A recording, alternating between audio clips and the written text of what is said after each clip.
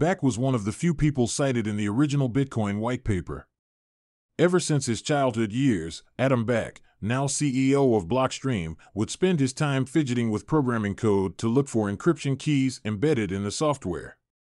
Born in 1970, the London native completed his A levels in mathematics, physics, and economics before focusing on computing science and earning a PhD from the University of Exeter.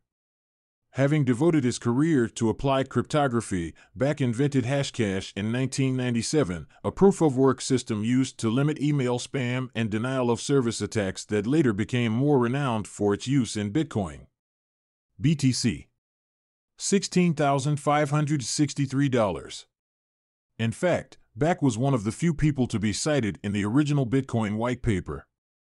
Nowadays, Back manages his digital asset custody firm, Blockstream, which is based in Victoria, Canada, and raised $210 million in a Series B round last August.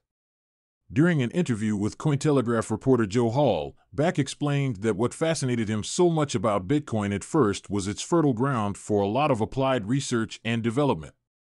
It covers lots of interlayer topics or people, like mathematics, computer science, and programming, he said. When asked what advice he could give to the new generation of Gen Zs and boomers approaching Bitcoin alike, Back suggested first getting to know the people in the industry. I think the good way to get involved is to sort of try to contribute to something as a volunteer, as you learn things when you get to interact with people. You know, there could be many different things to come across, like user interface, documentation, or educational materials. The 52 year old cryptographer is also exploring new physical boundaries for the use of Bitcoin, literally.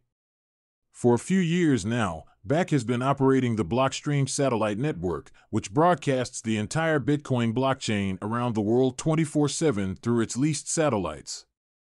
You could sync a node from scratch by the satellite. It will take a week or two, he said, continuing, but it actually fetches all the history as well and reassembles it. And it's some pretty cool kind of tech in terms of error correction and redundancy. According to Blockstream, the setup can protect against network interruptions and provide areas without reliable internet connections access to Bitcoin.